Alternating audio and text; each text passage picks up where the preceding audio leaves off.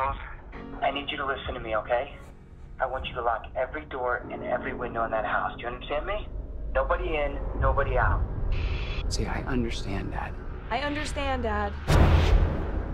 Whatever this is, it's making people very sick and very violent. They're not telling us everything, but it's spreading really fast. Macy!